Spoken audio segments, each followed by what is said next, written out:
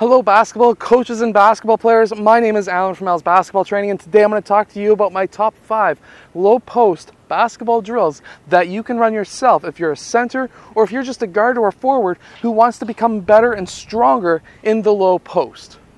So this first drill I'm going to show you is going to really work on your legs.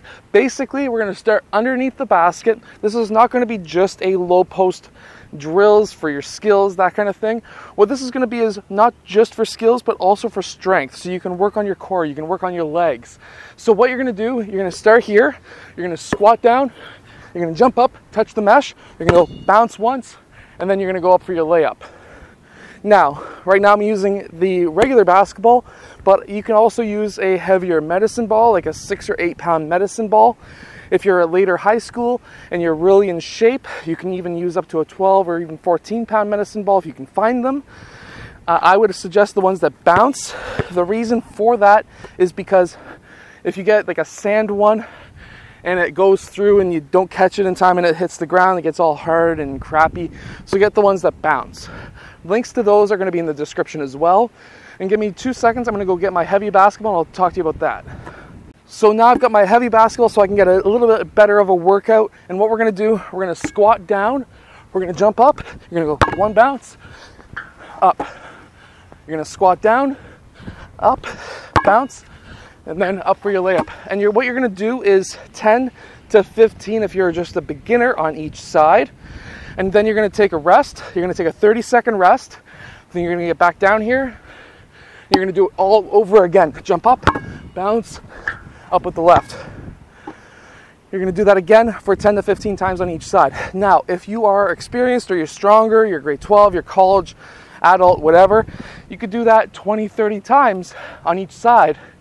Take a 30 second or a one minute break, and then you can go and do it again. You're to do this for three sets. Now, this next drill is not a physical drill really at all. This is not going to work on any kind of cardio. It's not going to work on any kind of like weightlifting workout. Basically, what you're going to do right along the whole length of the baseline is work on your footwork. So, you're going to start feet shoulder width apart. You're going to go up for your shot. You're going to come back down.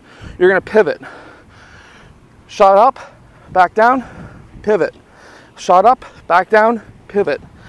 Now, if you want, you can even add in a little bit of a squat. So you can go squat down, up, pivot, squat down, up, and pivot.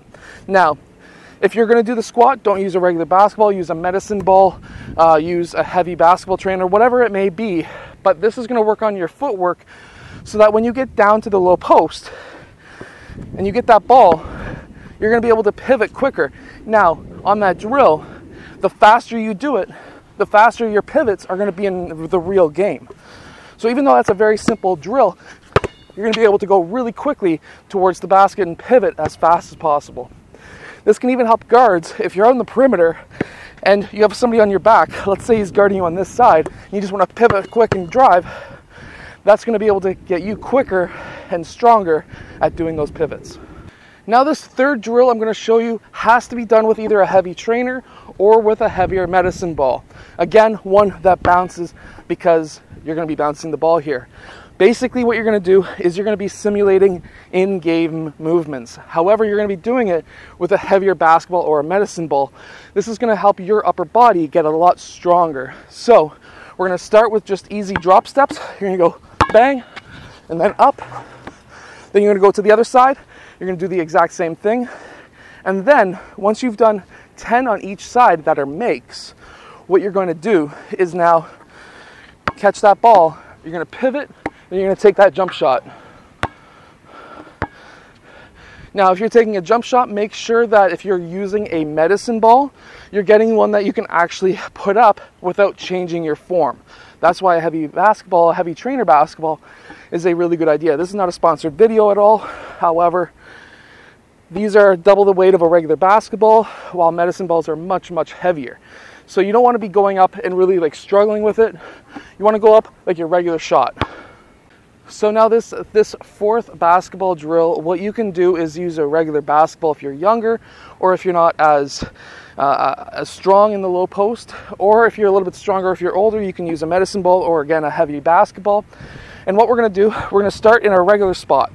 We're gonna start a bit farther out, and then what we're gonna do is we're gonna do, we're gonna have the ball straight to our chest. We're gonna go down into a squat, we're gonna jump up, we're gonna pivot, and then we're gonna go up for a shot.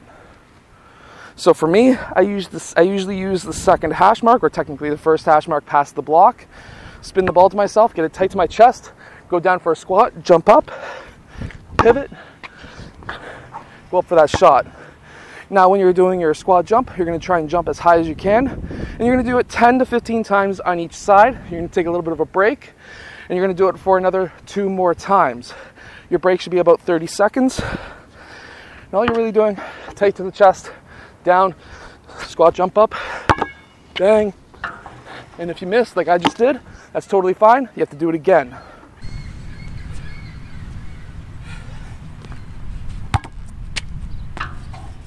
Now in this fifth and final drill, this is called the Mikan drill. I've showed this on this channel a few different times. And all you're gonna do for 30 seconds, if you miss, that's totally okay. You're gonna go up. You're not gonna let it touch the ground. You're gonna do that for 30 seconds. Now the idea behind this is to get used to that backboard. I would actually do this drill before every single game so that you can get used to the rim, get used to the backboard, and then you're all set for your game, you're all set for your practice, and it's a great workout. Anyways, I'll see you guys again tomorrow for another twice a day basketball video.